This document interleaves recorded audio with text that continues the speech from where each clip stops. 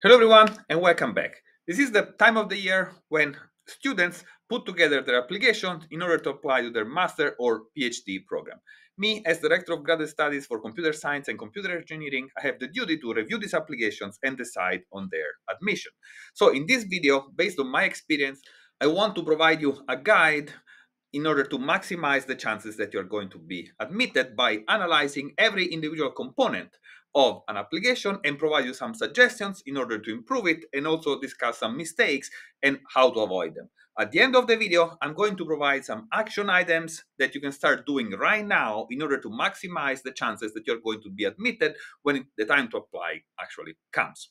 Before we start, I noticed that almost 80% of the people that watch these videos are not subscribed. I would really appreciate if you could subscribe to the channel and like the video because this will help significantly this content reaching more students. Thank you very much and let's start. The first thing that we look for are the transcripts. And within the transcripts, we look at several different things. The first thing that we look at is the major in which you graduated and if this major is in line with the major for which you're applying to graduate school. So for example, if you're applying in computer science, but your bachelor degree is in, let's say, architecture, there is a high chance that you don't have the sufficient background in order to be successful in graduate school in computer science. Next, we look at the quality of the school where you got your degree. Of course, many of our applicants are international, and so we use rankings in order to have an idea of what is the quality of that specific school. Next, we look for the GPA. So what is the average of the grades that you have taken across all your studies? And of course, we look for IGPAs. But additionally, we also look for the grades that you took in certain specific classes, and those are the core classes in your discipline. So, for example, in computer science, I will look for algorithms, I will look for computer networking, I will look for discrete math, I will look for calculus, I will look for programming, etc. So I want to make sure you have a solid background in computer science with good grades that can make you successful in graduate school. The second component of the application are the test scores. So there are two types of test scores. The standardized tests, such as, for example, GRE, and then the language test. So tests such as GRE are mostly provided in order to have an idea of what is your level of critical thinking, of analytical thinking, etc. So this is specifically important for international applicants that may come from schools with which we are not specifically familiar, and so GRE can provide an additional information about your skills. However, many schools, including ours, have waived this requirement However, it may still be a good idea to provide the results of your test if you have them in order to complete your application and give a better idea of your preparation for graduate school.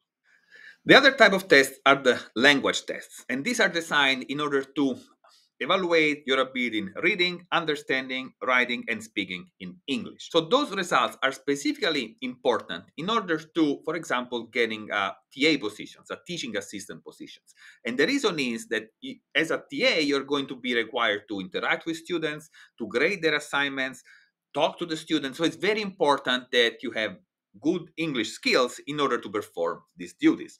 Additionally, writing is one of the most important skills that you're going to develop during your graduate studies. So if you already start from a solid basis, it's going to be much more easy for you to be successful. And this is something that advisors like me are going to look for. The next component of the application is the resume. So this is really your opportunity to make you shine. And it's also our opportunity to evaluate how good you are at writing, organizing, summarizing, and explaining what you know best, which is yourself. So make sure it is very well organized and very well designed. The important elements that should appear in a resume are first off the education with the school you attended, the GPA that you got, if you have any honors or awards. Additionally, you can mention certain specific classes, such as the core classes that I mentioned before, and what grades you have got, so that you can actually show that you have a solid background in that specific discipline.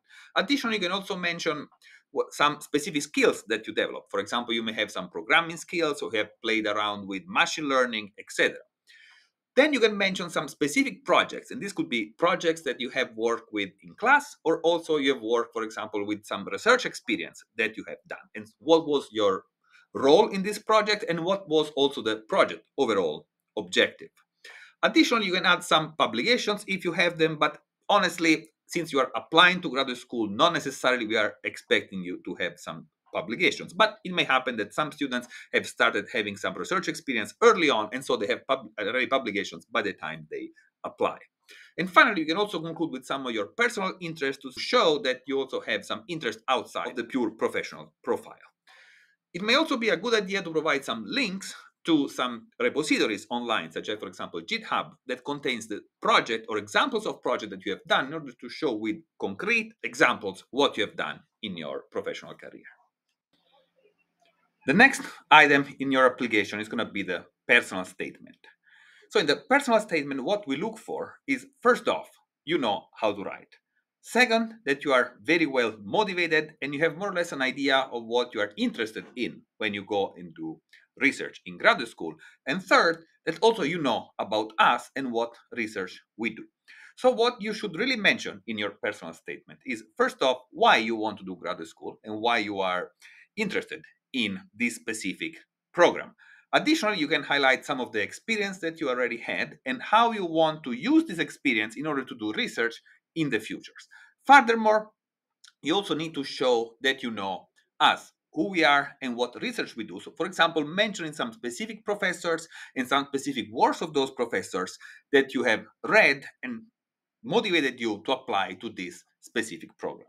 One suggestion that I have here is to not use tools such as ChatGPT because they will result in a personal statement that maybe is well written, but it's very flat, it's very bland, it's very general, and it's not specific of your application and it's not specific to the program where you are applying.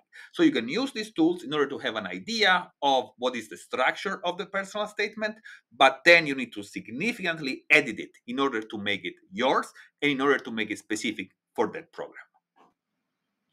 The last item of your applications are going to be the recommendation letters. But remember that after this item, I'm going to give you some specific items that you can start doing now in order to be successful in your application. So watch this video until the end. Let's go back to the recommendation letters. So we need recommendation letters in order to gather an opinion about you, a professional opinion about you from people that have worked with you throughout the years. So it's important that you select people that have worked with you, that know you well and that can say specific things about your professional experience.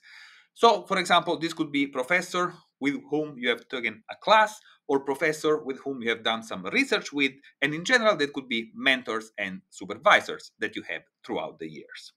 One suggestion that I have here is to provide the letter writer a list of the activities that you have done together. This will help the letter writer writing a more specific letters for you. As you may understand, we write a high amount of recommendation letters, and it's hard to remember what are the specific activities that we have done with each individual student. So, so this list will help the letter writer summarizing the most important activities that you have done together, making the letter more impactful. And finally, here we are at the action items that you can start taking now in order to be successful in your future application for graduate school. So from this video, it should be clear that many things you're going to mention in your graduate applications are already set and you cannot really change them. Things like the school you attended, the grades that you got, your GPA, etc., cannot be really changed. So my suggestion is to decide as soon as possible that you want to do graduate school and then work towards that specific goal. Select a good school for your undergraduate studies, select the major that you want to go for graduate school as also the major of your bachelor degree. Additionally, try to get very good grades in core classes because those are those that matter the most when you're going to apply for graduate school. Additionally, it would be very beneficial if you have some research experience. So that that research experience then you can sell and use it in order to be successful in graduate school. And many professors are going to be very happy to see you having that research experience. And many times this research experience may already have led to a publication that will help you even further being admitted and being admitted even better schools for graduate studies Additionally, try to build a network as soon as possible because that network of professionals are going to be your letter writers that again will help the chances of being admitted in graduate school. So this video is over. Thank you very much for watching. Please remember to like this video and subscribe to the channel to help spread this content. Thank you very much and see you soon.